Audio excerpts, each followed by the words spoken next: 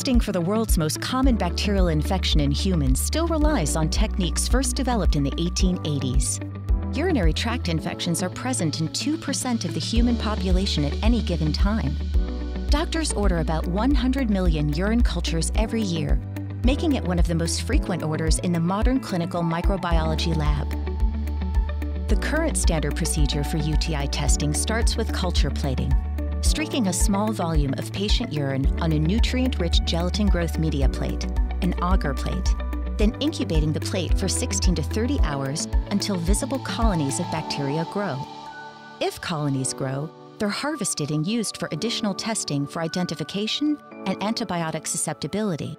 If no colonies grow after two days of incubation, the microbiologist reports the sample as UTI negative Two thirds of the microbiology lab's patient samples are urines ordered for culture, and after two or three days of plating, up to 85% of these samples are negative for bacterial infection. Beyond the wasted labor and costs, this delay in accurate diagnosis can lead to inappropriate treatments, excessive use of antibiotics, and poor patient outcomes. A more timely and cost efficient approach is needed in today's clinical microbiology lab. BacterioScan is pleased to introduce its Model 216DX Laser Microbial Growth Monitor, a fast, accurate, and affordable system for rapid detection of urinary tract infections. This innovative and award-winning laser instrument detects and measures bacterial growth in raw patient urine rapidly and precisely.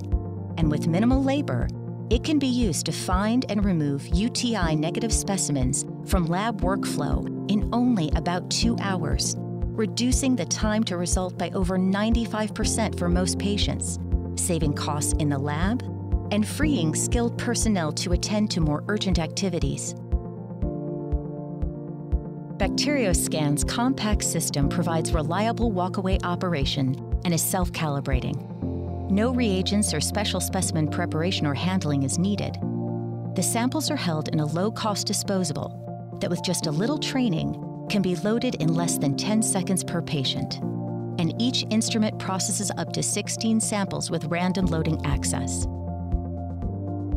The instrument itself is stackable, so up to 80 samples are run on less than one square foot of the lab's valuable benchtop, or up to three instruments can hang from a shelf or wall-mounted, requiring zero benchtop space. The BacterioScan UTI detection system helps the clinical microbiology lab by reducing the time to result from three days to less than three hours for most UTI specimens.